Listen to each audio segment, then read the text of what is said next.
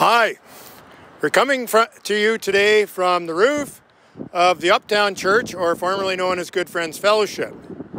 You're probably wondering, why are we on the roof? Well, let me tell you why we're on the roof. The reason that we're on the roof today is we want to bring to your attention the roof um, and also the skylights here. This roof, uh, we'll insert some pictures, but we're getting water damage in the kitchen downstairs. And we have ideas about re- uh, redoing the kitchen for the lighthouse and different ministries in the church. And prior to doing that, we we feel it's wise to replace this roof. Uh, we have no idea how old this roof is, but it's old. Uh, you can see the flashing here coming loose. We have bricks piled on top of the flashing. Uh, it's leaking.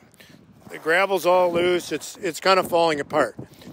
This here would be the membrane and the material that we replace the roof with.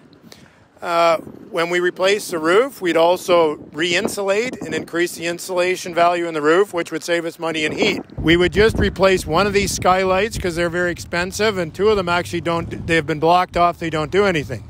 As you know, in the past, when we do a renovation project at Good Friends, we have a policy that we would raise 50% of the funds up front in order to pay for the project.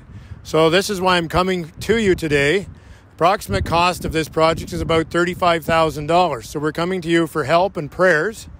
Uh, I'll just show you around a little more here. Next door here is Terry Carter's law office. And Terry Carter has also decided that he needs a new roof as well. And if we work together with a contractor in, in with Terry Carter, we can both save some money and do the roofs at the same time. Our roof is sort of landlocked, so they can bring the materials across Terry Carter's roof and do them both at the same time. Let me just show you here uh, where they would put the dumpster.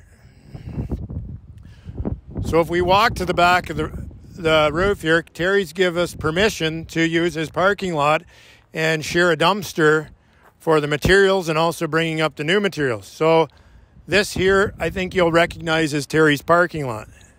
So I'd just like to thank you for your time today and your consideration. We ask that you pray for this project and also consider giving to this cause.